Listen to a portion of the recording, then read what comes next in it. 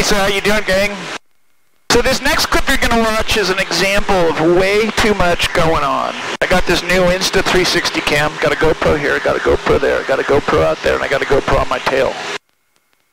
Holy cow, there's a lot going on. This next clip you'll see me chasing Weston, and I think it all the time, but it really hits home when I watch it. I mean, it's not acceptable to fly your airplane with your knees, hold your phone out here while you're trying to film, working the throttle with one hand, all while you're trying to do your GoPros and all that way too much going on, and so, you know, honestly, I'm going to simplify, and my mission is to uh, make sure that you guys at home take that message to heart. There's just way too much going on, and with all of us trying to get the ultimate shot, take a minute, think about what you're doing, scroll back. A year or two ago, we didn't even have all these cameras, let alone now flying with them on board. They're on every surface.